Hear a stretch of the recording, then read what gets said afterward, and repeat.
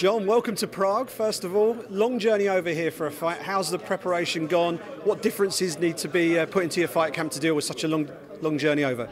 Well, there's not going to be really much to do. All I got to make sure is I can go out there and perform on Saturday night.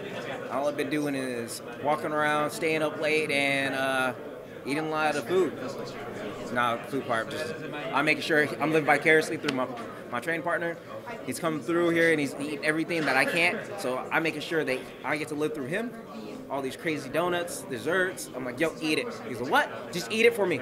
Take one bite. That's all I need. Have you identified a particular dessert that you're going to attack once the uh, once the fight's finished? I don't know yet. I kind of want to try that weird little frog funnel cake looking thing. There's like a it's like a cinnamon roll wrap. I don't know what it's called. Okay. Like I tried to ask somebody and they just looked at me like I was an idiot, which apparently I am because I'm in a foreign country and I don't know anything about it. And I was like, hey, what's this? They're like, no, don't ask questions. Okay. On to some actual questions about the fight. You've got John, you've got uh, Peter Yan, who's he's burst onto the scene, very, very uh, devastating punch, who's got a great record coming into the UFC. What have you made of his fight so far, having jumped onto the big stage? Well, he's done well, making sure everybody looks pretty much normal against him, or even a little bit slower. But how is he going to get it? Somebody who's a better veteran, who's faster, throws, uh, has higher volume punches, and we're going to see how well he does with my power against his. What do you make of the bantamweight division right now? Because you've got the champion wants to move down and challenge the flyweight champion again. Cejudo wants to move up and challenge Dillashaw for the bantamweight belt again.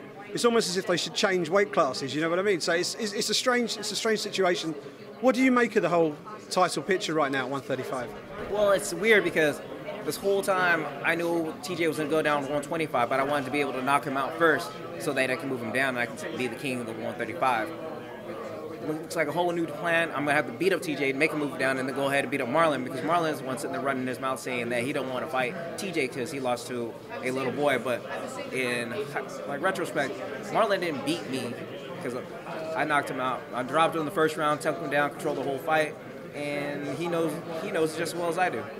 And you see all the back and forth going on involving involving TJ and whether it be Marlon or whether it be Henry. And in the back of your mind, you know you've already stopped TJ before. So what's your mindset when you see all of that sort of stuff going on? All y'all just need to stop talking and let's start fighting. Like the easiest way for us to go out there and settle anything is go out there and do it with our fists, and that's what I want to do.